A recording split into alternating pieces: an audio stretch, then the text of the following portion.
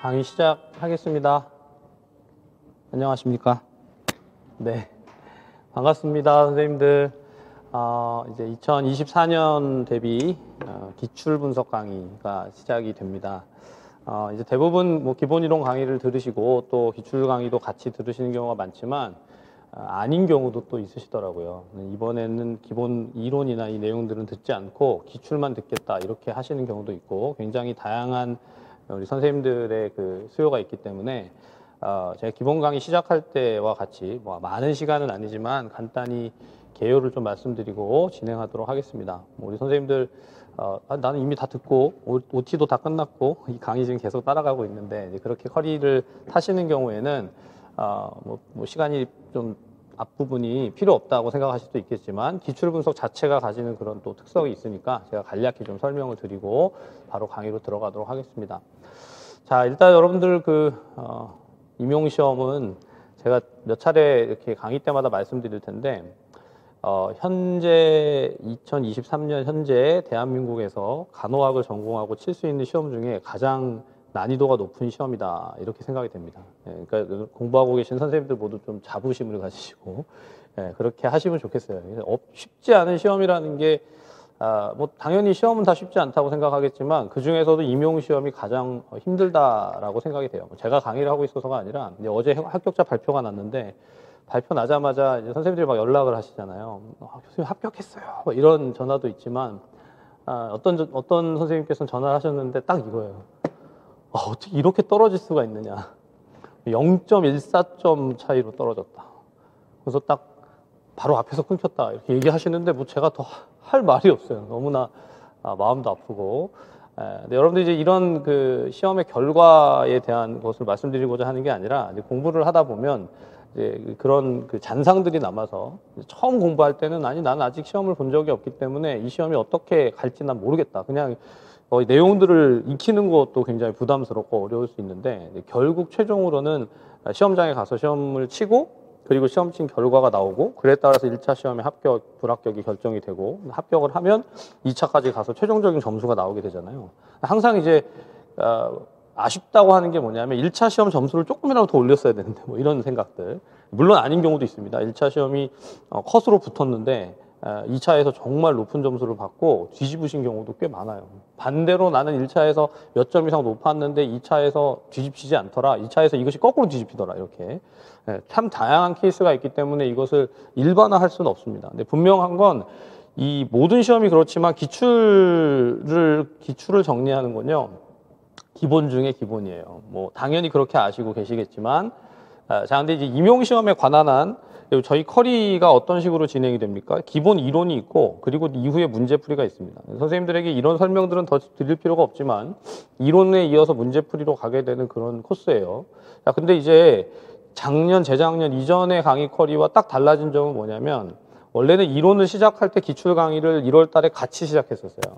제가 보니까 이론 강의를 들으면서 기출 강의를 같이 따라가는 걸 굉장히들 힘들어 하시고 아예 안 듣다, 안 듣다가 나중에 한 6월 내지는 5월쯤 돼서 기출을 안 들었는데 어떻게 할까요? 이렇게 질문하시는 경우가 꽤 많더라고요. 그래서 이제 나름대로 교수님들하고 회의를 하고 어, 이론 강의를 일단 1월달 진행을 하고 2월부터 기출 강의를 좀 어, 연착륙 시키듯이 진행하면 어떻겠느냐 이런 이제 어, 협의를 했어요. 그래서 올해부터 이제 2월부터 기출 강의가 들어가는 겁니다. 근데 이제 막상 여러분들 이제 말씀드렸지만 또 이 그 2월이 돼서 기출 강의를 시작한다고 해서 앞에 이론들이 다 정리가 됐느냐? 그래요, 안 그래요? 음, 공부를 하긴 했지만 예, 어디로 갔지? 다 안드로메다로 가버렸나? 예, 새롭게 이제 당장 이번 주부터 성인 간호 들어갈 텐데 어, 지역이 뭐였더라? 뭐 이러진 않으실 거잖아요, 그렇죠?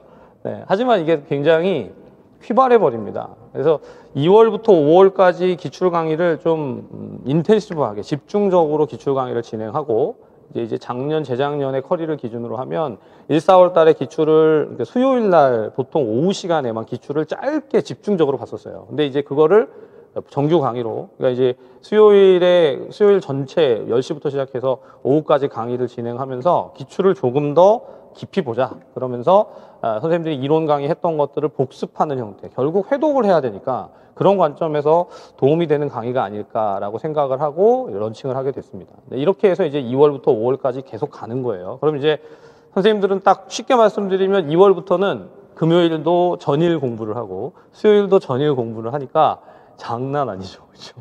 이거 다 따라간다고 하면 합격할 수밖에 없을 거다. 이런 이제 자신감을 가지고 즐겁게 공부하시면 좋겠습니다. 또 하나는 수요일 강의는요. 제가 이렇게 좀 그 주장을 하는 게 나름대로 오랜 강의를 하면서 선생님들에게 약간 좀 그 숨통이 튀어지는 그런 시간이 필요하다. 네, 아니 이게 좀 약간 아이러니잖아요. 기출 강의를 들으면 숨이 막힐 것 같은데 네, 숨을 좀 틔워라, 네, 마스크를 다 벗어라 뭐 이런 게 아니라 네, 금요일 날 본 강의가 진도가 계속 나가고 있는데 수요일 강의는 약간 아, 좀 놀러 오는 느낌, 네, relax and enjoy 하는 네, 그렇게 생각하시고 강의를 들으시면 좋겠다. 왜 그러냐면 이 문제풀이를 한다는 건요 이론이 다 정리된 상태에서 문제풀이를 하는 것도 힘들어요. 근데 여러분들 지금 이제 보게 되는 기출 문제들은 물론 정도에 따라서 아, 난 이거 되게 쉬워. 어, 이건 뭐 어려운 문제도 아니네. 이런 기출 문제 왜 풀고 있어야 되지? 뭐 이렇게 생각하시는 분은 몇 프로 안 됩니다. 예, 없어요 그런 분들은. 예, 제가 이제 가끔 예를 들지만 좀 이상하신 분들이에요. 되게 특이하신 분들. 혼자 공부해도 되는 분들. 근데 대부분은 아, 기출 문제를 푼다는 건요. 많이 세팅이 되고 정리가 된 상태에서 보는 거기 때문에 어, 그렇지 않고서는 문제가 쉽게 느껴지는 게 이상한 거예요. 네. 여러분들 절대 좌절하시지 말고 이 시간은 문제를 이런 게 있었구나 이렇게 생각하시고 이게 다시 문제로 나오면 내가 풀어주지 뭐 이 정도의 좀 도전자적인 정신으로 강의에 임하셔야 선생님들에게 도움이 될 겁니다. 네, 제가 이렇게 예방 주사를 자꾸 놓는 것은 항상 이 강의를 하다 보면 한 몇 주만 진행이 진행이 되더라도 선생님들이 대부분 다 이렇게 멘붕이 오시는 경우가 많아요. 아무리 앞에서 얘기를 해도 괜찮습니다. 좀 그럴 수도 있습니다. 모를 수도 있습니다. 근데 아닙니다. 나는 지금 해야 되겠습니다. 이걸 모르면 떨어지는 거 아닙니까? 아직 시험까지 시간 많이 남았는데 네, 그런 경우들이 많으셔서 말씀을 잠깐 드렸어요. 자, 그 마지막으로 이제 이 강의의 전체적인 진행과 관련해서 한 가지만 더 말씀드리고 본론으로 들어가겠습니다. 이제 대부분 선생님들 이제 시험이 있잖아요. 그게 임용 시험이 제가 그 현존하는 가장 최상위의 최고 난도의 시험이다라고 했는데 모든 국가고시, 국가시험, 뭐 간호사 국가고시나 공무원 시험이나 모든 시험들은 다 시험을 대비하는 방식이 똑같습니다. 뭐냐면 먼저 전체 이론을 보잖아요. 이론을 정리한다는 건 내용을 한번 전체적으로 시작부터 끝까지 다 훑고 그 내용들을 상세하게 본다. 1회 독을 하고 2회 독을 하고 3회 독을 하고 막 이렇게 해가죠. 자, 근데 그런 이론을 아무리 회독을 많이 해도 결국 내 걸로 정리가 안 돼 있으면 공부한 게 어, 어디 있는지 잘 몰라요. 그래서 반드시 뭘 하냐면 보통 이제 심화라는 이름을 쓰기도 하는데 제가 이름을 좀 바꿔서 압축 좀 이걸 집약적으로 빨리 본다. 압축이 심하면 나중에 이제 하루 아침에 뭐 찍어주기, 그렇죠? 뭐 요약 강의, 뭐 이런 식으로 결국은 요약 정리를 하는 강의가 필요하고 이 두 가지가 진행되고 난 다음에 보통 나오는 커리가 기출이에요. 기출 분석을 합니다. 기출 분석을 한다는 건 이렇게 공부를 하긴 했는데 막상 시험에 어떻게 나왔는지를 내가 공부한 그 내용들을 가지고 맞출 수 있는지 또 어떤 부분들이 좀 비어 있는지 뭐가 좀 더 부족한지를 확인하는 작업이 기출 분석이고 이 기출 분석이 끝나면 나오는 게 이것에 대한 동형이에요. 동형 모의고사. 그렇죠? 모든 시험은 다 거의 이 커리로 갑니다. 유일하게 이 커리를 안 타는 강의가 임용이에요. 네, 그래서 지금 선생님도 보시다시피 기출 분석 강의를 여기다 끌어와서 병행합니다. 네. 왜 그러는 걸까요? 왜 이러시는 걸까요? 왜 이렇게 우리를 힘들게 하는 걸까요? 강의를 해보니까 다른 시험들은 모르겠지만 임용 강의는요 이론과 기출이 같이 이렇게 어우러지지 않으면 휘발력이 휘발되는 정도가 굉장히 강합니다. 이거는 약간 이렇게 나선형으로 계속해서 반복되어지는 그런 강의 그런 그 커리의 완성이 필요하기 때문에 집약적으로 짧게 보고 정리하고 짧게 보고 정리하고 이런 식의 형태로서는 도저히 정복할 수가 없다. 그러니까 여러분 막 어, 좀 전에 말씀드렸던 0.14점 차이가 나고 뭐, 뭐 많이 차이 나야 1, 2점 정도 차이 나는 이런 시험에서 조금이라도 정확도를 높여야겠다고 생각할 때 가장 좋은 방법은 현재 기출되었던 문제들에 대한 분석과 이해와 함께 이론이 같이 가서 두 가지가 같이 오버랩 되는 것이 가장 좋은 방법입니다.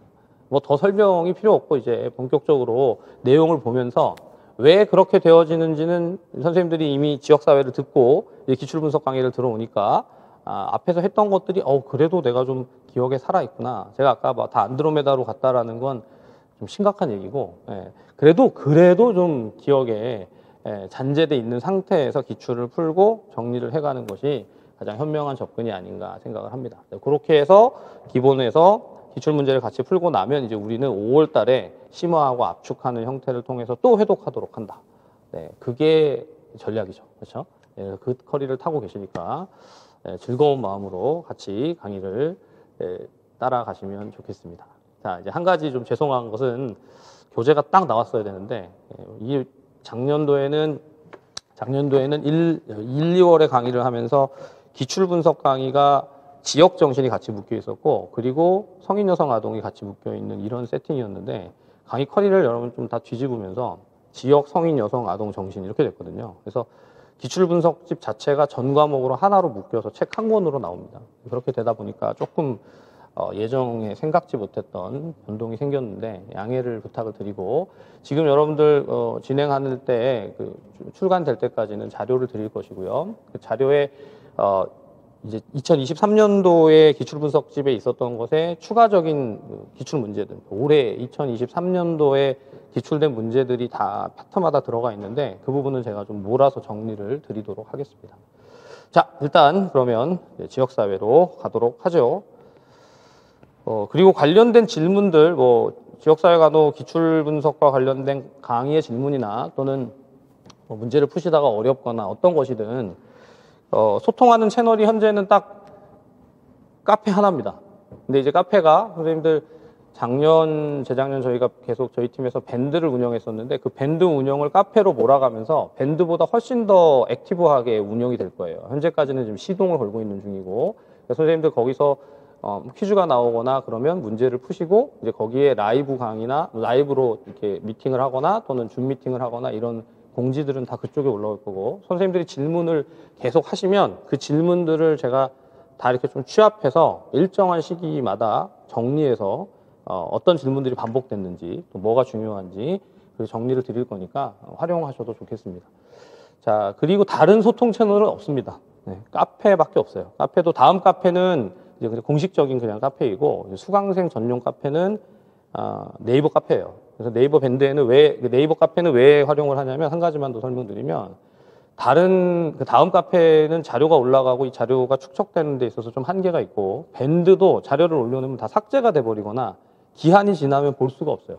네, 그래서 네이버로 전환을 했습니다. 선생님들 그 편의를 위해서 그렇게 한 거니까 음, 참고하시고 모든 강의 자료는 다 강의 옆에 그 자료실에 올라가지만 퀴즈에 관한 한 강의와 관련된 퀴즈나 또는 추가로 드리는 퀴즈들은 다 카페에다가 카페에다가 탑재를 드릴 테니까 나중에 복습을 하실 때도 그 자료실에 퀴즈 자료실을 쭉 정리해서 보면 선생님들이 직접 푸셨던 거는 본인이 복습할 수 있을 것이고 순서대로 내가 빼먹은 게 없나 확인해 보실 수도 있고 예, 뭐 여러모로 고민을 많이 했습니다. 어, 강의를 하면서 선생님들에게 도움이 되는 걸 하지 해가 되는 걸 하지 않는다. 그게 대원칙이거든요. 자, 그래서 그렇게 어여삐 봐주시고 예, 강의에 임하시고 공부하시면 좋겠습니다. 자, 그러면 본격적으로 어, 기출 분석을 좀 해가도록 하죠. 자, 1편은 이제 지역사회 간호입니다. 자, 지역사회 간호는 저한테는 이제 약간 옷과 같은 그런 과목이라 예, 선생님들은 하나 지역이 싫어 이럴 수도 있지만 저는 지역을 가지고 어, 강의를 계속 해왔기 때문에 지역사회 간호는 친해요. 예, 정신간호도 친하지만 사실 정신간호는 임상적인 그런 경험으로 인해서 많이 알게 된 것이고 지역사회 간호는 학문적으로 어, 학습을 하고 이것을 과정을 학위 과정을 하면서 더 많이 익혔기 때문에 아마 선생님들보다 이해도가 조금 더 높을 겁니다. 자, 근데 이제 무엇보다 중요한 건 그래서 이 과목에서 출제되는 게 뭐냐. 항상 관심이 이거잖아요. 기출이죠. 자, 선생님들 공부를 하다 보면, 아, 공부를 하다 보면 각자가 가지고 있는 자료들이 다를 수 있어요. 그렇죠? 강의를 듣는 자료, 강의 관련된 교재, 뭐 각종 여러 가지 뭐 요약집들 다 다를 수 있는데 예, 모두가 평등하게 동일하게 볼 수 있는 것한 가지가 뭔지 아십니까? 그게 기출 문제예요. 예, 뭐 기출 문제집도 또 종류가 많고 그에 따른 답도 다르지만 사실 문제로 주어져 있는 기출 문제 자체는 네, 다 평등합니다. 자, 근데 이제 임용이 재밌는 게요. 이 기출 문제가 아, 어떻게 변형됐는가 또는 기출에서 다뤄진 이슈가 무엇인가 제가 늘 하는 거는 선생님들 기출 문제를 이렇게 계속해서 반복해서 봅니다. 그러면 어 이 문제가 이렇게 나왔었네. 그럼 한번 보고 나중에 시간이 지나서 다시 보면 똑같은 건데 다르게 보일 때가 있어요. 네, 선생님들도 그럴 때가 있지 않아요? 내가 분명히 이거 예전에 풀어봤던 문제인데 모르겠네. 답이 뭐였지? 이거 어떻게 써야 되지? 뭐 이런 경우들 있잖아요. 자, 지금부터 기출 분석을 해갈 때는 이미 봤던 문제이든 또는 이미 내가 이걸 답을 알고 있는 것이든 어떤 식으로 문제가 주어졌는지를 다시 한번 유의해서 보시고 그것이 살짝 변형이 된다. 제가 강의 중에 강조하는 건 이겁니다. 자, 선생님들 그냥 여기 지금 나와 있는 문, 여기 각 단원별로의 문제나 그 문제에 따른 기본적인 기출의 답, 예시 답안으로 제시된 건 누구나 다 읽어보면 알 수 있어요. 네. 이 시간에 선생님들이 생각할 때 이 강의를 통해서 얻는 유익은 뭐냐면 이 문제가 이렇게 출제된 건 어떻게 바뀔 수 있느냐 또는 이걸 물어본 것은 그 묻고자 하는 포커스가 무엇인지를 출제자의 관점에서 생각해 보는 게 제일 중요합니다. 단순히 문제 답, 문제 답, 문제 답 해서 난 다 외울 거야. 그럼 강의를 안 들으셔도 돼요. 빨리 이거 수강 취소하시고 그냥 교재 그냥 외우면 됩니다. 네. 정말로 그런 분들이 있더라고요. 아니 왜 강의를 할 때 문제 답, 문제 답을 얘기 안 하고 자꾸 딴 얘기를 하느냐. 네. 그래서 뭐 잡담을 하느냐, 뭐 쓸데없는 얘기를 하느냐. 그러면 안 들으시면 되는 거예요.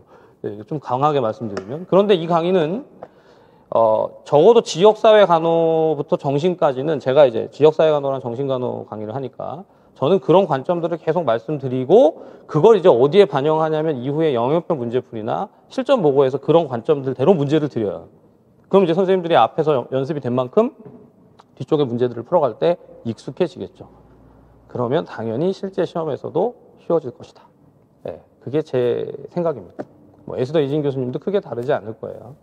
자, 그래서 여러분들 이제 보시다시피 지역사회간호 전체 단원에 대한 것은 이론 강의에서 다 풀어드리고 있기 때문에 다시 말씀드리지 않겠지만 가장 그 크게 큰 단원으로 나눠서 거시적으로 지역사회 간호 개론부터 시작해서 여기 역학과 질병관리까지 main입니다. main. 물론 다른 영역들도 다 문제가 출제되지만 개론, 이론, 그리고 건강증진과 보건교육, 보건행정, 간호과정, 역학과 질병관리 이 파트에 대해서 잘 정리하는 게 가장 핵심이고 관건이에요. 오늘 이제 강의에서는 가능한 여기 5장까지 나가고 6장의 내용도 일부 좀 다룰 수 있도록 시간에 지금 편성은 그렇게 했습니다. 자, 근데 1장에서 어, 5장까지의 문제들을 같이 풀어가겠지만 그 다음 시간에 미리 말씀드리면 다음 주 전까지 아래쪽에 있는 내용들도 최선을 다해서 좀 정리를 해보시고 이론을 공부하시고 강의에 임하시면 좋겠어요. 그렇죠? 자, 그러려면 이전 밑에 있는 내용들이 다 강의가 돼야 되는데 네, 여기서 이제 딱 걸리는 거죠. 왜 아파가지고 네, 강의가 다 진행이 안 되는데 보강을 먼저 진행을 하니까 보강한 다음 날 이제 기출 분석을 하게 됐죠. 네, 기가 막히게 짰죠. 죄송합니다. 네. 자, 그래서 어 이제 그 내용들을 순서대로 정리를 해가시면 좋겠다. 자, 그러면 이제 바로 밑에 지역사회 간호 개론 또 지역사회 간호 이론입니다. 자, 이제 선생님들 지역사회 간호 개론이나 이론 파트에서 출제된 문제들을 뭐 굉장히 다양하게 만날 수 있는 건 아니에요. 보시다시피 문제로 정형화돼서 아주 티피컬하게 주어진 것은 자 보시는 것처럼 어떤 이론에 근거해서 자, 여기 보면 첫 번째 베티 뉴만의 건강관리 체계 이론에 근거해서 지역사회를 사정하고자 한다.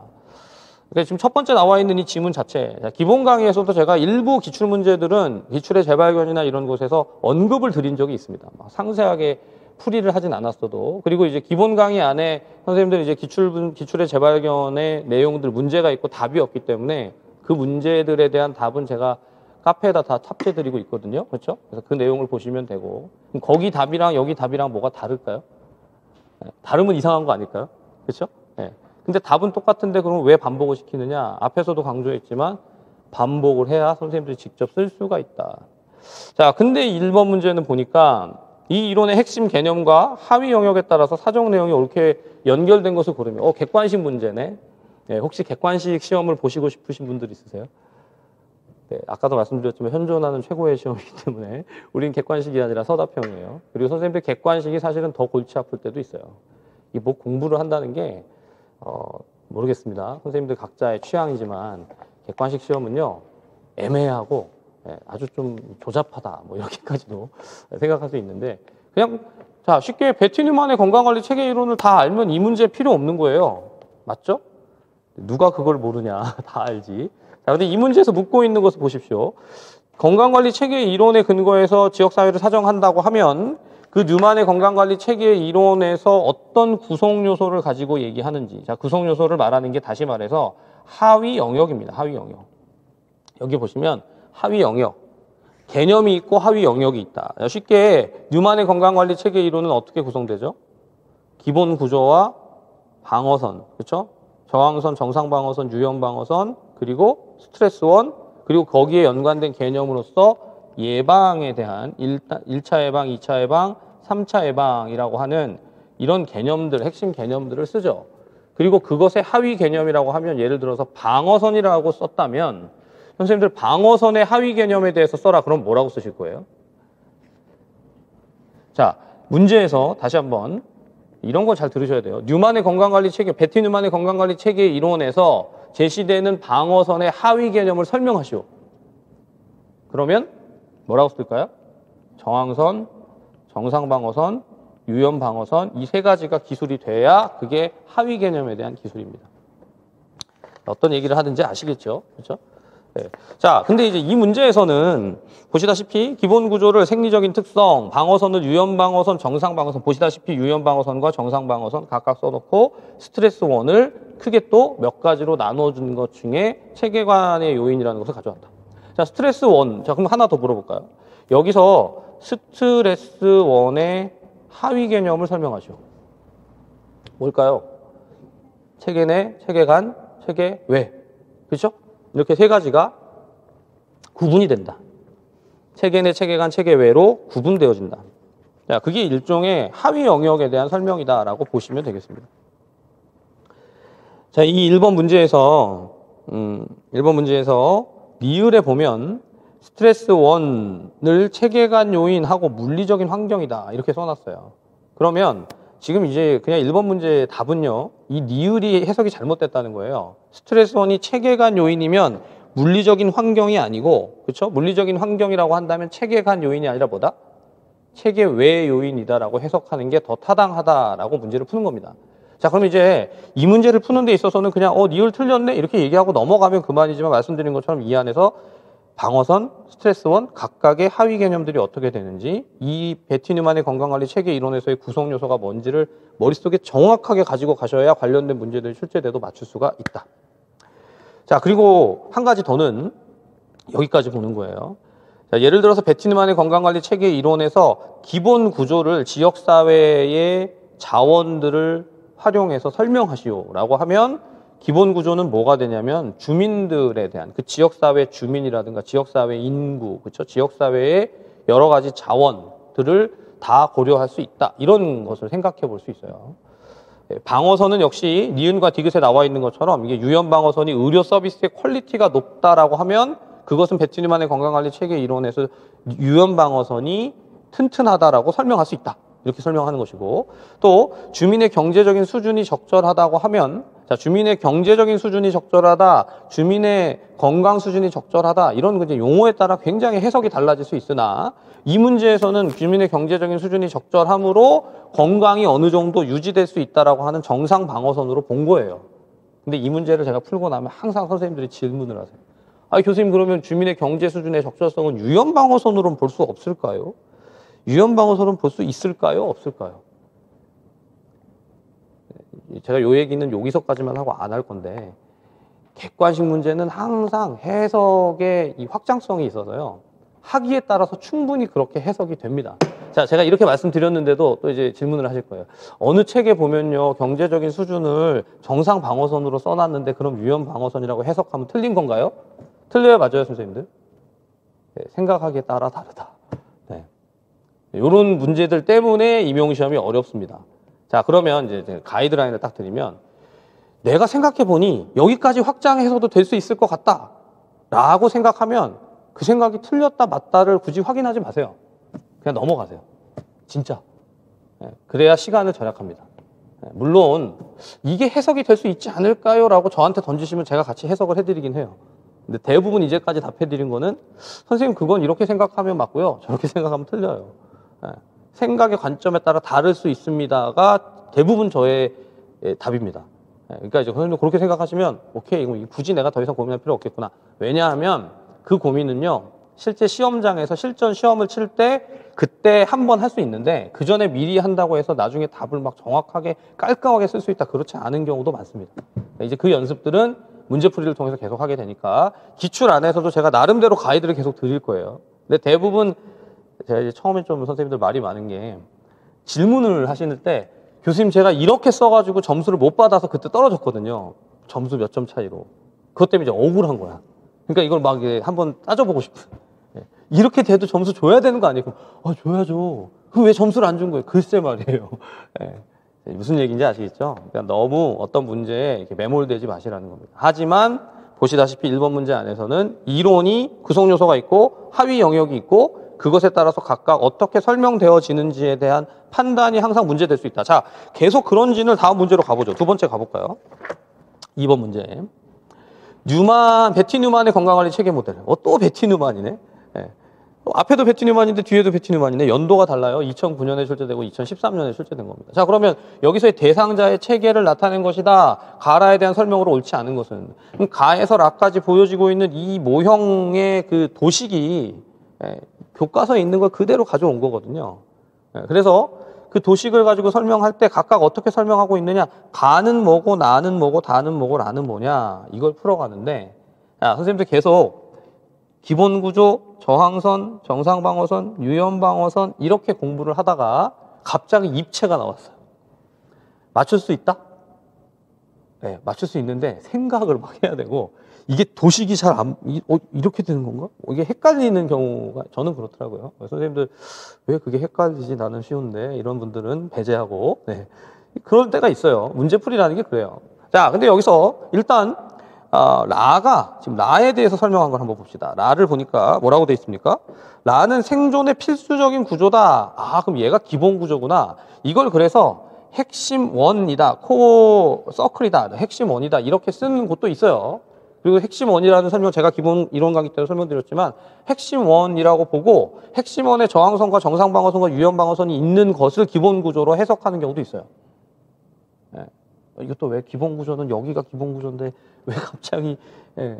제가 이거 다 강의 때 설명을 드리기 때문에 들었다고 생각하고도 하지만 혹시 안 들으신 경우는 지금 말씀드린 것처럼 해석이 관점에 따라 좀 다를 수 있다. 자, 근데 건강관리 목표는 스트레스 원이 이 구조도 구조까지 침범하지 않도록 방어선을 강화하는 것이다. 여기에 이 구조라고 되어 있는 게 이 구조라는 게 기본 구조라고 이해하는 게 보편적입니다. 근데 그 기본 구조가 또 핵심 원이라고 써 놓는 경우들도 있다. 네, 선생님들의 지력을 믿고 이렇게만 설명드리면 아실 거라고 생각해요. 중요한 건 5번에 쓰여 있는 이 지문은 예, 외우셔도 될 정도로 뉴만의 건강관리 체계 이론의 가장 핵심부 핵심원 기본 구조를 설명하는 아주 좋은 그런 지문이다라고 볼 수 있습니다. 자, 근데 거기에 바로 윗단계, 예, 라의 바로 위에 다잖아요. 다. 다는, 다는 뭐죠? 그럼 저항선이 되겠죠. 자, 다가 바로 위에 4번 보세요. 다가 스트레스 원에 함락되면 기본 구조가 파괴되고 이 상태를 방치하게 되면 결국은 사망에 이르게 된다. 저항선이 뚫렸다. 이런 개념이죠. 자, 근데 이제 뉴만의 건강관리 체계 이론은 구조나 저항선이나 정상방어선이나 유연방어선에서 유연방어선이 뚫렸다, 정상방어선이 뚫렸다, 저항선이 뚫렸다 이거를 딱딱 칼로 자르듯이 설명할 수 없습니다. 그게 이 이론의 한계거든요. 하지만 문제 안에서는 보시다시피 4번과 같이 설명할 수도 있다. 여기 괜히 또 이걸 또 깊게 생각하지 마시고 그냥 보셔도 돼요. 자, 3번 그런데 바로 위에 나는 한 대상 체계가 오랫동안 유지해온 평형 상태다. 나가 뭐예요? 나가? 지금? 나는 예, 나는 무슨 방어선이 되죠? 유연 방어선이 되죠. 유연 방어선. 그러면 나가 유연 방어선이고 가가 정상 방어선이잖아요. 맞죠? 네, 이게 이제 혼돈이 된단 말이에요. 잘못 보면 가는 유연 방어선, 나는 정상 방어선. 그럼 이제 문제 풀다가 다 이제 혼돈이 되는 거지. 자, 근데 한 대상 체계가 오랫동안 유지해온 평형 상태로서 어떤 외적인 자극이나 스트레스 원에 대해서 나타내는 중요한 포인트 정상적 반응의 범위를 말한다. 그럼 선생님들 정상적 반응의 범위를 말한다고 할 때 나는 정상 방어선이 아니고 지금 유연 방어선이잖아요. 근데 설명은 뭐예요? 설명은 정상 방어선을 설명해 놨죠. 그러니까 답이 3번이 되는 거지. 예, 객관식 문제로서. 자, 그리고 바로 위로 올라가서 나 2번 지문도 한번 봅니다. 나의 자극을 주는 스트레스 원에는 내적 요인, 대인적 요인, 외적 요인이 있다. 맞아요? 체계 내 요인, 체계 간 요인, 체계 외 요인, 요인이 있다. 이렇게 설명이 되죠. 네. 스트레스 원에 대한 설명입니다. 엄밀히 말하면 지금 이 그림에서는 스트레스 원이 어디, 어디 있어요? 보여요? 안 보이죠? 바깥에 설정해서 이 스트레스 원이 침투한다. 이런 개념으로 설명을 해야 될 겁니다. 자, 가에 개인의 일상적인 대처 유형, 삶의 유형, 발달 단계와 같은 행위적인 요인과 변수들의 복합물이다. 자, 가는 뭐라고요? 정상 방어선이라고 그랬죠. 그렇죠? 네, 그래서 이번 문제를 보시면서 아, 이게 지금 앞에 1번이나 2번이나 객관식 문제로 주어진 지문들이 각각 다 베티누만의 건강관리 체계 이론을 설명하는 네, 그런 그 문제구나라고 이해하시고 가시면 되겠습니다. 자, 그 다음에 3-1번 보세요. 중학교에서 A형 감염 환자가 발견돼서 보건교사는 환자 간호 및 질병의 확산을 방지하기 위한 간호를 계획하려고 한다. 로이의 간호 이론에 따라 자극의 유형과 적응 모두를 확인하고자 할 때 다음 각 항목에 해당하는 것이 무엇인지 쓰시오 했어요. 자, 이제 베티 뉴만의 건강관리 체계 이론이 아니라 로이의 간호 이론이다. 선생님들 머릿속에 로이의 간호 이론이 정리가 돼야 문제를 풀겠죠. 자, 자, 로이의 적응 이론에서 로이의 그렇죠. 로이의 간호 이론, 로이의 자, 간호 이론이 결국 적응 이론인데 적응 이론에서 어떤 구성 요소가 있고 그 구성 요소에 하위 단계가 있느냐, 하위 영역이 있느냐. 자, 보시다시피 자극 유형과 적응 모드라고 나눠 놓고 있습니다. 자극 유형이라고 하면 자극은 크게 세 가지로 구분된다. 뭐예요? 초점 자극, 초관잔, 초점과 관련 자극, 잔여 자극. 세 가지로 구분이 된다. 또 적응 적응 모드, 적응 양상에는 뭐가 있습니까? 네 가지. 생자 역상, 생리적 생리적 양상, 역 그리고 자, 네, 자기 뭐죠? 자아 개념 양상. 어, 갑자기 헷갈렸어. 자아 개념 이런다니까요. 네, 자아 개념 양상 그리고 역할 기능 양상, 상호 의존 양상. 그러니까 선생님들 아무리 외우고 아무리 많이 떠들어도 갑자기 생각 안 나면 그건 정말 네, 며느리도 못 말리는, 못 말리는 그런 상태가 되죠. 자, 그래서 생자 역상, 생리적 양상, 자아 개념 양상, 역할 기능 양상, 상호 의존 양상인데 자, 문제에서는 이걸 선생님들이 다 안다는 걸 가정하고 문제를 준 거잖아. 그럼 이제 이런 식으로 케이스가 나와서 주어진 항목이 자극 유형에는 뭐냐, 또 적응 모드에는 뭐냐, 이렇게 각각 풀어가라는 겁니다. 그렇죠? 근데 보통 이제 이 문제들은 이제 익숙하죠? 라고 할 때, 네, 익숙해요. 라고 하시는 분들은 이미 많이 봤다는 얘기예요. 그죠? 자, A형 간염에 이완이 됐다. 이게 어떤 자극이죠? 초점 자극, 초점 자극. 자, 학생들의 손 씻기 습관이다. 이건 뭡니까? 자녀 자극이 돼요. 자녀 자극, 자녀 자극. 자, 급식실 및 급수의 환경이다. 이건 뭐예요? 네, 관련 자극이 되겠죠. 관련 자극. 관련 자극이 됩니다. 자, 그래서 어, 이제 요 문제를 요걸 가지고 응용을 한다면 이제 선생님들 어떤 그 대상 집단에서 질병이 발생했다라고 하면 질병은 대부분 뭘로 정리하면 된다? 초점 자극으로 정리하면 끝. 그렇죠? 근데 질병이 아니고 대상 집단의 신념 체계라든가 대상 집단의 어떤 성격이라든가 태도라든가 이 좀 헷갈리는데 태도, 성격, 신념 이런 거는 왠지 관련일 것 같은데 자녀 자극이라고 써주면 돼요. 여기도 이제 더 이상 고민하지 마시고 그렇게 쓰십시오. 이 한 10년 전쯤에는 책마다 좀 잘, 잘못 쓰여 있거나 오류가 나는 경우들이 있어가지고 저는 또 그 오류들을요 또 막 친절하게 한다고 당시에는 이제 강의 교재가 이렇게 여러분들 그 뭐죠 제가 전공보건의 맥이나 이걸 쓰지 않고 제 대원칙이 있었어요. 나는 대학 교재를 그대로 강의할 거야. 막 이러면서 예, 강론서로 강의를 하겠다 이러면서 계속 그랬거든요. 그러니까 대학에서 강의하는 교재나 똑같이 갖다 쓰면 돼. 막 이랬는데 뭐 이게 선생님들을 더 불편하게 하더라고. 그래서 그래서 이제 책을 쓰기 시작했는데 예, 거기 보면 강론서들마다 다 표현들이 다르고 막 내용이 다르고 어디는 이게 자녀 자극인데 어디는 이게 관련 자극인데 예, 그런 문제들이 있었는데 기출 문제를 통해서 그냥 깔끔하게 정리를 하시면 좋겠다. 자, 그 다음에 감염 학생이 피로와 오심을 호소한다. 이건 적응 모드 중에 어떤 적응 모드가 되느냐? 뭘까요? 생리적 양상. 별로 고민을 안 해도 되잖아요. 자, 그 다음 감염 학생이 친구들로부터 따돌림을 당해서 외로움을 경험한다. 이건 뭐가 될까요? 이건 상호 의존일까요? 자아 개념일까요? 역할 기능일까요? 뭘까요? 음, 상호 의존 밑에 답파 있잖아요. 상호전 양상.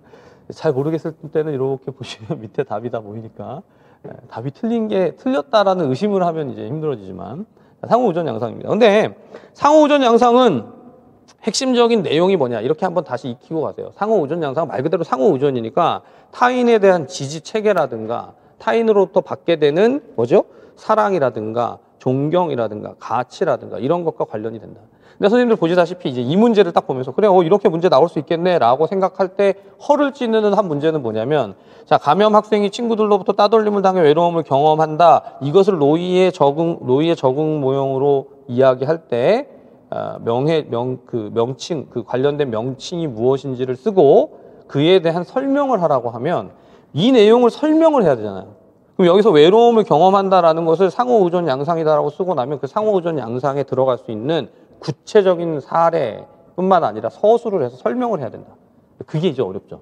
음. 공부해야 되는 포인트는 거기에 있어요. 선생님들, 어, 따돌림을 당해서 외롭다, 상호우전. 끝! 이러고 넘어가서 나중에 상호우전 양상에 대해서 설명을 하시고, 못해요. 네. 할수 있다라고 생각을 하면 네, 뛰어나신 분이고, 잘 안 써져. 자, 그러니까 이제 이 강의의 그 속성은요, 선생님들이 이론 공부를 하고 내가 이걸 알았는지 몰랐는지 정리가 됐는지 안 됐는지 확인이 잘 안 되잖아요. 퀴즈를 풀긴 풀지만 좀 약하단 말이에요. 그거 가지고. 퀴즈만으로는 좀 부족하다. 그래서 기출문제 가지고 연습을 계속 해본다.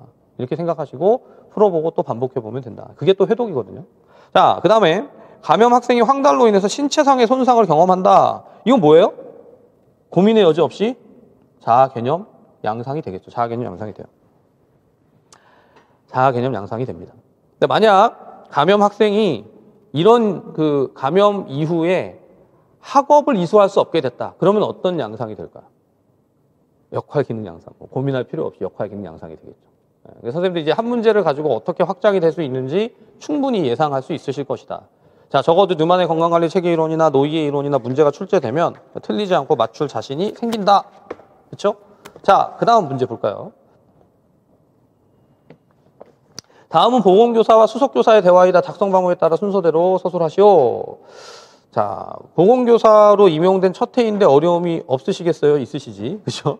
로이의 적응, 뭐 그런 걸 물어보나? 로이의 적응 이론을 적용해서 새로운 학교 보건 사업을 기획하려고 하는데, 근데 여기 딱 보시면, 자, 이 이론을 적용해서 학교 보건 사업을 기획한다. 예, 선생님들 이런 문제를 보시면 저는 문제를 아까 말씀드린 것처럼 거의 이게 씹어먹다시피 하는 계속해서 또 들여다보고 또 들여다보는데 사실 여기까지만 딱 봐도요 출제될 수 있는 문제가 로이의 적응 이론을 적용하는 것만이 아니라 이 보건사업 기획의 관점이 굉장히 중요하다는 것을 엿볼 수 있어요. 그럼 이건 당연히 보건사업 기획에서 우선순위를 판정하거나 기획의 모형을 활용하거나 저 뒤쪽에 있는 지역사회 간호보건 행정 파트의 내용들을 가지고 문제화한다라는 걸 추정하게 되죠. 그렇죠? 자, 근데 일단 여기서의 문제는 궁금한 게 뭔가요? 이러면서 로이의 적응 이론에 따르면이라고 했죠. 어떤 이론에 따라서 어떤 이론에 따라서 뭘 해석하고 설명할 것인가가 관건인데 보시다시피 인간은 스스로의 환경 변화를 효과적으로 조정하기 위해서 개인의 능력이 중요한데 그 능력에 영향을 주는 자극으로 초점 자극, 연관 자극, 자녀 자극을 제시하더라고요. 이건 그냥 이론 그대로 이해한 걸 풀어놓고 있습니다. 선생님들 이미 앞에서 봤기 때문에 다 알잖아요. 초점 자극, 연관 자극, 관여 자극 또는 초점 자극, 관련 자극, 자녀 자극. 이런 그런 질문을 과거에는 많이 받았었어요. 연관 자극과 관련 자극은 같은 건가요? 네.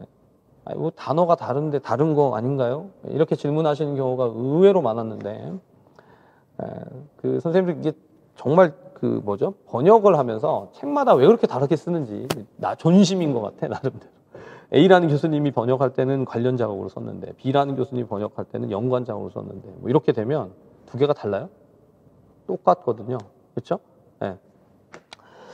이 중에 저는 자녀 자극이 잘 이해가 되지 않아서요. 자, 그러니까 이제 수석 교사가 자녀 자극은 하고 설명을 합니다. 선생님들 이제 문제를 지금 이 문제에서는 아래쪽에 보면 개념을 설명해라, 용어를 용어를 가지고 개념을 풀어라, 하위 구성 요인 두 가지를 제시해라 이렇게 썼지만 여기만을 빈칸으로 만들어서 자녀 자극을 설명하시어도 문제를 낼 수 있겠죠. 네. 이런 걸 자꾸 들여다보는 거예요. 어, 문제가 이렇게 구성이 될 수 있겠구나. 자, 그래서 이러한 자극들이 조절 기전과 뭐예요? 인지 기전, 인지 기전. 인지 기전에 영향을 미치는 거군요. 자, 맞습니다. 이러한 두 가지 기저의 활동으로 생리적 기능, 자아 개념 기능, 자아 개념 양상, 역할 기능 양상, 상호 의존 양상의 네 가지 적응 양상이 나타난다. 적응 양상이 긍정적으로 반응할 때 적응 반응이라고 합니다. 자, 적응 양상이 긍정적으로 반응할 때 적응 양상이면 부정적으로 반응할 땐 뭐죠? 부적응 내지는 비적응. 네. 적응과 적응과 비적응 내지는 효율적인 적응 또는 비효율적인 적응 뭐 여러 가지 용어들이 좀 변형돼서 쓰여질 수 있는 부분이 있습니다만 핵심은 적응을 하느냐 못하느냐가 노이의 적응 이론에 있어서는 관련된다라고 볼 수 있죠. 자, 이제 교재에는 보면 효율적인 반응, 비효율적인 반응 이렇게 쓰여 있기도 합니다. 그러니까 이게 어 그럼 적응 비적응이라고 써야 돼요? 효율 비효율이라고 써야 돼? 또 이렇게 물어보시는 선생님들은 제가 답을 안 해줄 거예요. 그렇죠? 예. 뭔 뭔지 다 알잖아요. 우리들 한국말 아니까. 이렇게 갈려진다. 항상 두 가지로 나눠져서 평가될 수 있다. 자, 선생님들 요 문제 진짜 좋은 문제예요. 예. 저는 임용 기출 문제들이 좀 이렇게 예, 좀 무궁무진하게 깔끔하게 예, 뭘 보고 어떻게 정리를 해야 되는지를 보여줘야 된다고 생각해요. 아니 우리는 무슨 그 문제를 어떻게든 이렇게 뭐죠? 그 뭐라 그러죠? 괴랄하다라고 하죠. 예, 그렇게 출제하면 안 되잖아요. 명확하게 뭘 공부해야 되는지 확실히 보여줘. 제일 좋은 거는 문제 주고 출제하고 뭘 하는 걸까? 답안을 딱 제시해 주는 거지. 예. 선생님도 국가고시가 특히 이런 2차 시험 약간 난이도가 높은 시험들이 문제를 주고 주관식 문제 주고 답을 주면 좋을까요? 나쁠까요? 필요하다고 생각하지 않아요? 예. 헌법소원까지 갔어요. 예. 근데 결론은 출제자의 고유 권한이다. 예. 답을 안 줘도 된다. 예. 그러니까 이제 학원 강사가 힘들어요. 답을 다 제시를 해드려야 되잖아. 여기까지는 답이 될 것 같습니다. 이렇게. 자, 근데 예, 이제 뭐 무슨 얘기냐면 출제된 문제 이런 세팅의 문제는 굉장히 좋은 문제예요. 선생님들이 이걸 이렇게 쭉 읽어가면서 아 이론을 내가 어떻게 봐야 되는지 뭐가 문제로 나올 수 있는지 이거 하나로 다 할 수 있거든. 이걸 딱 바꿔 껴가지고 로이의 적응 이론이 아니라 오렘의 이론을 적용을 해서 새로운 학교 보건 사업을 기획하려고 하는데 궁금한 게 있습니다. 오렘의 이론에 따르면 오렘의 이론은 자가간호 결핍이 있는데 자가간호 역량과 자가간호 요구가 있을 때 이렇게 이제 설명을 해간다는 거죠. 자가간호의 요구는 크게 세 가지로 구분이 된다. 자, 제가 무슨 얘기하는지 아시겠죠? 그렇게 이론을 싹 다 바꾸는 거예요. 저는 이제 그렇게 해서 계속 문제를 선생님들께 드려봤기 때문에 이걸 보면 이제 아, 이렇게 바꾸면 되겠구나 이 생각이 드는 거지. 자, 근데 이걸 가지고 여기서 냈던 문제를 보니까 보시다시피 개념을 설명해라 하나 설명. 그 다음 들어가는 빈칸의 용어를 제시해라. 이건 이론을 알면 풀 수 있는 거고 역시 또 개념을 설명해라.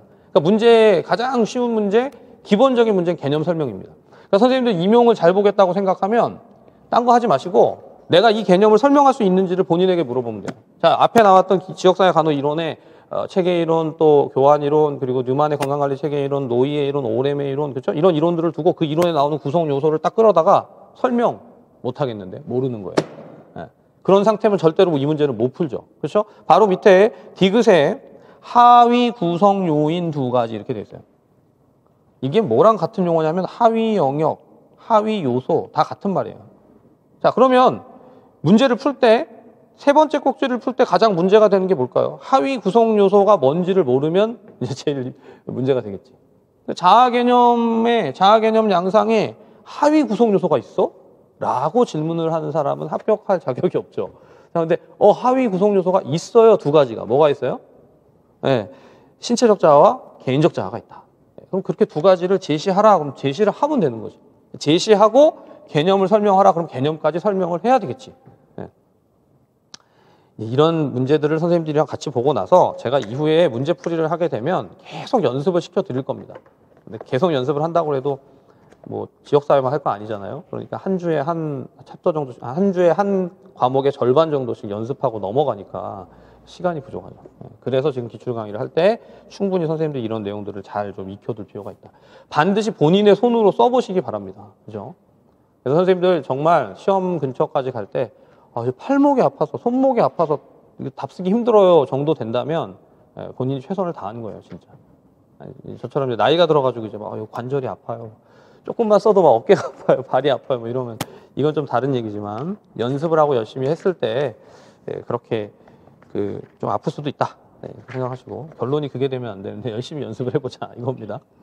자, 네 번째 보건교사가 오렘의 자가간호 이론에 근거해서 간호 활동을 제공하려고 한다. 다음에 제시된 간호 문제가 자가 간호 필수 요구 유형 중에 무엇에 해당되는지를 각각 쓰고 자가 간호 결핍이 발생하는 이유를 오렘이 제시한 두 가지 개념을 이용해서 두 줄 이내로 쓰시오.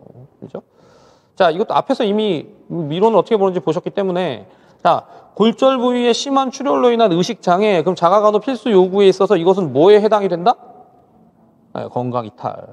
자, 그럼 건강 이탈이 나온다는 것은 일반적 자가 간호 요구, 건강 이탈 자가 간호 요구, 발달적 자가 간호 요- 요구. 예, 크게 이렇게 세 가지의 자가 간호 요구가 있다라는 것을 선생님들이 알고 계시고 그 중에서 골라서 쓰는 거죠. 당연히 운동 후에 발환에 따른 일시적인 갈증은 뭐다? 일반적 자가 간호 요구다. 일반적. 자, 그다음 3번. 초경에 대한 지식 부족과 관련된 부적절한 대처. 이건 뭐다? 발달적, 발달적. 어렵지 않죠? 자, 그리고 자가 간호 결핍 발생 이유는 뭐라고 그랬어요? 자가 간호 요구가 자가 간호 요구가 직접 써보세요. 자가 간호 요구가 뭘 초과한다? 자가 간호 역량을 초과한다. 역량을 초과한다. 초과한다. 초과할 때 자가 간호 결핍이 발생한다. 네, 그렇게 보시고 가시면 되겠습니다. 뭐 굳이 더 설명 안 하겠습니다. 자, 그 다음에 다섯 번째 보세요. 자, 이제 문제가 약간씩 좀 어, 진화한다고 할까요? 조금씩 달라지는데 5번에 보니까 다음은 고등학교 보건교사가 작성한 상담일지다 뉴만이 제시한 건강관리 체계 이론에 근거해서 작성 방법에 따라 순서대로 서술하시오. 그러니까 선생님들 모든 임용 문제는 그냥 이 세팅이다라고 생각하면 딱 맞아요. 이론에 근거해서 설명을 하시오. 어떤 특정 모형에 근거해서 해석을 하시오. 자, 주어진 어떤 특정한 법에 근거해서 이 문제를 푸시오. 그럼 이제 항상 그 quotation이 들어가는 그 앞에 evidence가 되는 게 뭔지를 모르면 문제를 못 푸는 거예요. 그러니까 그 evidence로 들어가는 게 뭔지를 기출 문제를 쫙 넘기면서 예, 아, 이게 들어가는구나, 이게 들어가는구나, 이게 들어가는구나. 지금처럼 뉴만의 건강관리 체계 이론, 오렘의 이론, 로이의 이론, 막 이게 계속해서 문제로 나왔구나. 그럼 걔네들을 근거로 풀어가는 연습을 계속 하는 거예요. 근데 그 연습의 핵심은 그 이론을 확실히 아는 것이. 응? 자, 근데 이제 보세요. 뭐라고 물어봤나? 보니까 일단 밑에 작성 방법을 먼저 보니까 밑줄 친 기억은 어떤 스트레스원에 해당하는지 제시할 것. 어, 스트레스 원이 이 이론에서 제시가 되니까 그 스트레스 원을 골라야 될 것이고. 자, 두 번째. 니은은 어떤 방어선에 해당되는지 제시할 어디서 많이 봤던 것 같은데. 그죠? 그 다음 디귿은 어떤 방어선이 침범됐을 때 적용할 수 있는지 제시할 것. 앞에 처음에 봤던 문제랑 비슷한 것 같은데 문제를 바꿨네, 응용했네. 이런 생각이 들죠? 자, 근데 이제 그러면 바로 위에 보세요. 어, 주어져 있는 개요에서 가족 구조 및 기능 현황 그리고 학생의 현황 이렇게 나와요. 자 그러면 가족 구조 및 기능의 현황에서 아버지와 어머니가 함께 살고 있고 아버지는 일용직 어머니는 8년 전에 고통상을 당하셔서 하반신 마비의 상태, 상태시다. 경제적으로 매우 어려워서 현재 기초생활수급자 신청을 한 상태다. 복지관의 반찬 배달 서비스를 받고 있다. 학생의 비만 관리가 필요하지만 부모님의 지원을 받기에는 어려움이 많다. 이게 가족의 구조와 기능, 일반 환경적인 측면들을 다 보여주고 있고, 그 다음 학생의 현황으로 넘어가서 BMI가 32다. 나랑 비슷하진 않네. 그죠? 나보다 많네. 뭐 이렇게. 네.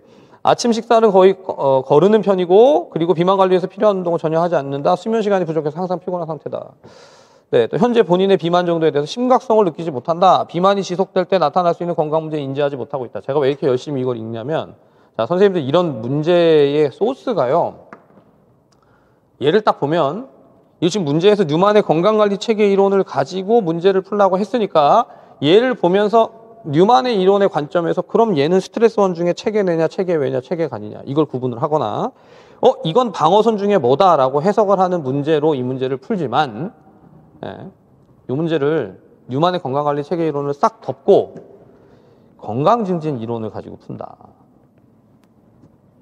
건강증진 이론을 가지고 푼다. 그러면 건강증진 이론 중에 약간 응용을 해보는 거예요. 선생님들 잘 따라오셔서 건강 신념 모형을 가지고 어, 문제를 푼다면 대상자가 가지고 있는 뭐를 확인해야 되죠? 여기서 신념을 확인하겠죠. 자, 건강 신 건강 증진 건강 신념 모형에서 대표적인 신념에 해당되는 건 지각된 민감성, 심각성, 유익성, 장애성. 갑자기 건강 증진 이론 얘기해서 뭐 당황스럽다 이런 거 아니시죠? 네. 그럼 거기 있는 걸 가지고 여기를 들여다 보면 어 심각성을 느끼지 못한다? 이게 심각성인가요? 그게 아니라 지각된 유익이나 지각된 장애나 지각된 민감성이나 지각된 심각성을 여기 있는 내용들을 가지고 풀어서 쓸 수도 있죠. 그러면 이 문제는 분명히 뉴만의 건강관리 체계 이론이었는데 전혀 딴 문제가 됩니다. 자, 주어진 소스를 그러니까 어떤 각도로 보느냐에 따라 달라질 수 있다라는 것을 일단 생각할 수 있다라는 걸 잠깐 한번 생각해 보시고 다시 우, 원상태로 돌아와서 다시 지우고 자, 원상태로 돌아와서 여기서는 보시다시피 자, 기억, 기억이 뭐예요? 경제적으로 매우 어려워서 현재 기초생활 수급자 신청을 한 상태다. 기억은 어떤 스트레스원에 해당하는지를 제시하시오라고 했어요. 자, 경제적인 상태가 경제적으로 어렵다라는 것은 체계 내냐, 체계 외냐, 체계 간이냐 이렇게 풀어놓고 있습니다. 네, 선생님들 헷갈리시지 않아야 되는데 체계가 지금 이 그 문제 안에서의 체계는 가족입니까? 개인입니까? 가족인가요? 개인인가요? 가족이라고 보면 가족의 경제적인 수준은 체계 내입니까? 체계 외입니까? 체계 외인가요? 체계 간인가요? 체계 외인가요? 체계 내인가요? 네, 좀 헷갈리시죠? 네, 일부러 헷갈리게 하고 있는 거예요. 자, 이 문제는 어, 기억에 경제적으로 매우 어려워서 기초생활수급자 신청을 한 상태다라고 할 때 경제적으로 매우 어려운 상태 자체를 두고 만약 이것을 가족의 문제라고 보면 그러면 체계 내의 스트레스 원이 될 수도 있습니다. 근데 대부분의 강론서에서는 강- 경제적인 문제는 체계 외의 요소로 보고 있기 때문에 예, 이 문제는 체계 외로 푸는 것이 맞아요. 네. 잘 들어야 돼요. 끝까지. 자, 그리고 지금 여기서는 지금 주된 초점이 누구냐면 자, 제시한 건강관리 체계 이론에 근거해서 상담 일지를 제시하면서 중요한 이 학생의 현황 속에서 문제를 본다면 학생을 체계로 보면 지금 학생의 가족의 개- 경제적인 문제는 체계 외적인 문제다라고 보여집니다. 이해가 되시죠? 네. 자, 그 다음에 두 번째. 니은은 어떤 방어선에 해당하는지를 제시하라라고 했어요. 자, 수면 시간이 부족해서 항상 피곤한 상태다. 자, 수면 시간이 어, 적정하다. 식사를 잘한다. 그렇죠? 또 운동을 적절하게 한다. 이건 어떤 방어선에 해당이 됩니까? 정상 방어선으로 보는 것이 가장 타당하다고 보겠죠. 에, 안정된 상태를 유지하기 위해서 필수적인 방- 필수적인 것, 이른바 정상적 범위, 정상적 범위를 유지한다. 자, 자 그 다음에 디귿. 디귿은 어떤 방어선이 침범됐을 때 적용할 수 있는지를 제시할 것. 자, 2차 예방 활동이라고 돼 있는데 1차 예방 활동, 2차 예방 활동, 3차 예방 활동을 고려할 때 2차 예방 활동, 활동은 우리가 아주 일반적으로 조기 진단과 조기 치료라고 생각을 하죠. 조기 진단, 조기 치료의 관점에서 생각합니다. 근데 보시다시피 2차 예방 활동으로 주어져 있는 것은 현재 유연 방어선이 아니라 정상 방어선이 침범됐을 때 이 증상이 나타났다 또는 어떤 상태가 됐다 그래서 진단과 치료의 관점으로 접근하는 것이 타당하다 제가 늘 말씀드리지만 늘 말씀드리는 게 아니라 오늘 말씀드렸지만 이걸 해석할 때 이렇게도 볼 수 있지 않아요? 라고 하는 순간부터는 이제 다른 해석들이 다 가능해질 수 있습니다. 그래서 그런 경우에는 선생님들 거기까지도 어, 관점에 따라 볼 수 있을 것이다 라고 접어두시고 가셔도 됩니다. 그리고 말씀드렸지만 이 이론의 한계는 유연 방어선과 정상 방어선을 명확하게 나누지 못한다는 데 있어요. 네. 그래서 이 문제는 그렇게 우리가 이해를 해주지만 또 아주 이제 이상하게 해석을 하면요 다른 답이 될 수도 있습니다.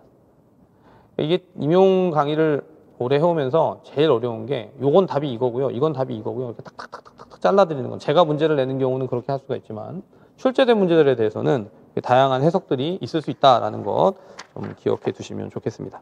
자, 그 다음에 3장으로 넘어가기 전에 잠깐 쉬겠습니다. 네, 잠깐 휴식하시